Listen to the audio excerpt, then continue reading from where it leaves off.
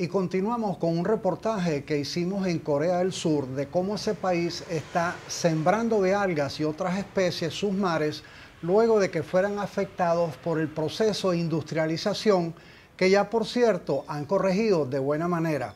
Esto es de suma importancia porque buena parte de la dieta alimentaria de los coreanos viene justamente del mar.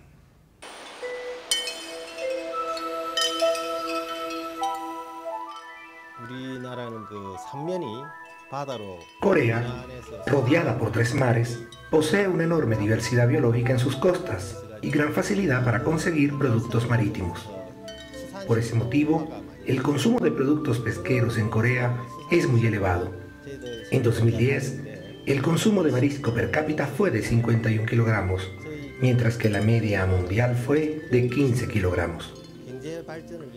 En los inicios de la industrialización de los años 60, Corea tenía como objetivo asegurar terreno industrial ganando terreno al mar. Sin embargo, la calidad del agua empeoró, así como las condiciones para la pesca, como consecuencia de la sobreexplotación. Ante esta situación, el gobierno de Corea desarrolló un proyecto piloto a fin de crear un hábitat en el que vivieran los seres marinos. Se trata de un arrecife artificial de 220.000 hectáreas donde, desde hace 40 años, están instaladas 70 especies diferentes. El arrecife artificial en el fondo marino debe servir como base para crear un nuevo hábitat para los seres marinos y el desarrollo de un nuevo ecosistema. Este arrecife sirve de plataforma para plantas marinas y seres vivos que se desarrollan gracias al aumento del plancton el arrecife artificial se convierte en el lugar donde desovan el Aptoscopus japonicus y el Hexagramidae, que ponen huevos adherentes. Para los demás seres vivos, el arrecife constituye un refugio ante las amenazas externas o un lugar de descanso. En el lugar donde está instalado el arrecife artificial existen abundantes bancos de peces, esto permite a los pescadores a pequeña escala vivir de la pesca. La clave para tener éxito en este proyecto es encontrar un lugar adecuado y mantenerlo para que no se degrade como consecuencia de la actividad pesquera, así como formar a expertos especializados en biología, ingeniería pesquera, medio ambiente marino y topología oceánica. Por otra parte, es necesario trabajar con los responsables del diseño de las políticas marítimas para establecer el plan de proyectos y asegurar su presupuesto.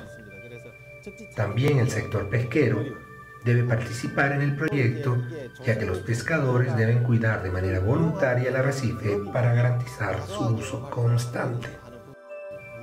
Debido a que la roca natural desapareció al ganar terreno al mar, el arrecife artificial sirve de hábitat para los seres que viven en las oquedades de las rocas a las que se adhieren.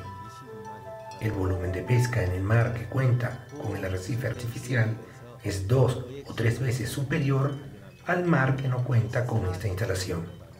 Asimismo, en el mar con arrecife artificial, el surgimiento de nuevas especies de peces es 1,5 veces mayor. En el futuro, la FIRA se centrará en dos proyectos, la creación de un bosque y una granja en el mar para la recuperación del hábitat de los peces y los recursos marítimos por una parte, y por otra, la gestión autónoma de la comunidad pesquera.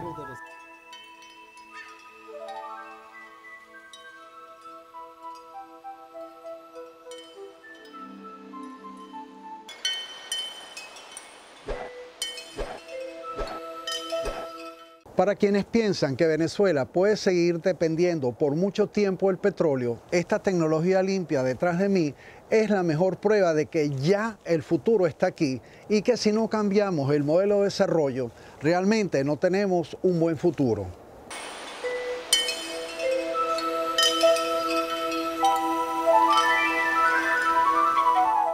Rubros como este, el cacao, es una de las muchas alternativas de riqueza que tiene Venezuela para salir del sitio donde estamos en este momento. Esto, además del conocimiento, generación del mismo y la educación, son las claves para salir de ese modelo de desarrollo extractivista de petróleo y oro que no solamente han afectado al ambiente en Venezuela, sino que sus consecuencias son también planetarias. Pensemos en un nuevo paradigma de desarrollo.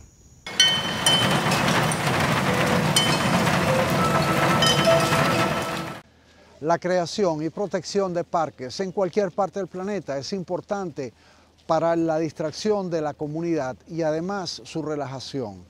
Por esto es importante que usted nos ayude a crear y a proteger los parques que ya existen con el fin de que tengamos no solamente un sitio apropiado para los locales, sino para aquellos turistas de otras partes del país o del planeta que vengan a visitar. Contamos con usted para proteger esos parques.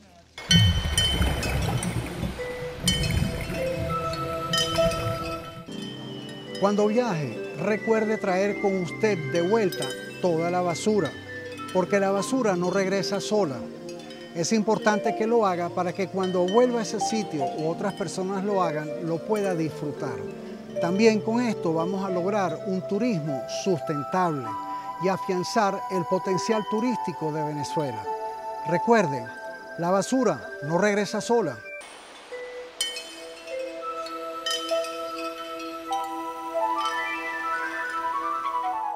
Bueno, eso fue todo por esta semana. Nos despedimos agradeciéndole a la Embajada de Corea del Sur en Venezuela el habernos facilitado todo este material que posiblemente ustedes han disfrutado y de esta manera conocer más de un pueblo que es admirable, ya que después de la guerra se reconstruyeron sin esas llamadas riquezas naturales como es el oro y el petróleo, sino a base de trabajo, educación y creación de conocimiento.